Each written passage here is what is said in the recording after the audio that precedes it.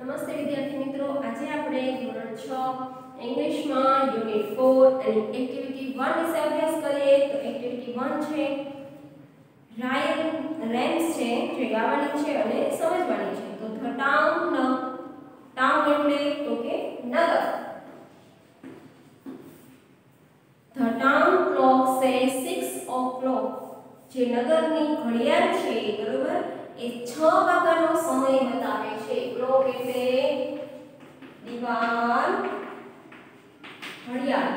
તો town clock સે 6 o'clock.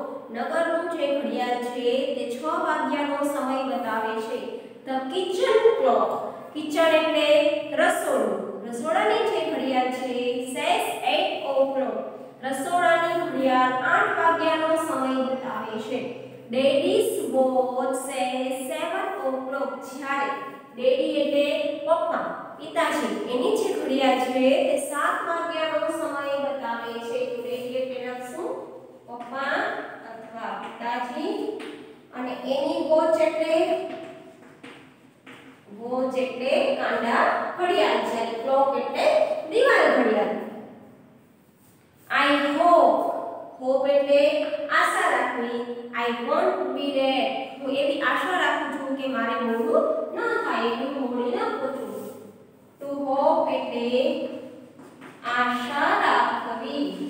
બરાબર?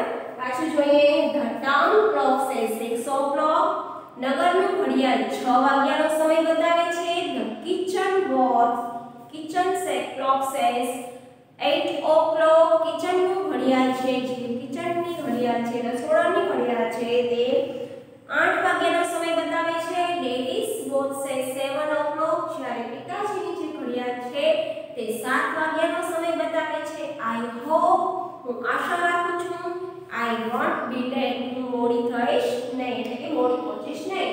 મમ્મી સેસ મમ્મી શું બોલે છે? ધેટ વન ઇઝ ફાસ્ટ એક ઘડિયાળ આગળ છે. બરોબર?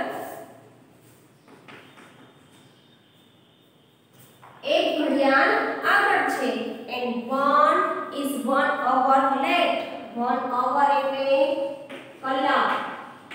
મમ્મી એવું કહે છે, એક ઘડિયાળ આગળ છે અને એક ઘડિયાળ લેટ છે. લેટ એટલે મોડી છે અથવા પાછળ છે. વન ઇઝ રાઈટ એમાંથી એક ઘડિયાળ રાઈટ એટલે સાચી છે. બટ પણ વિચ એટલે કઈ ઘડિયાળ છે એની ખબર નથી.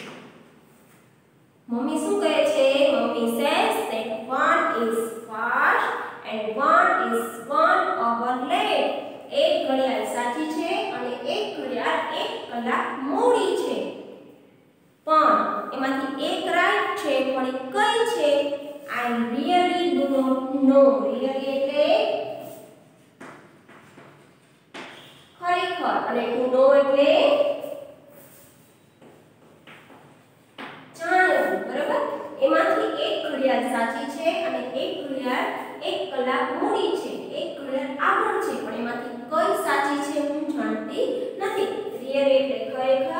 એવું ખરેખર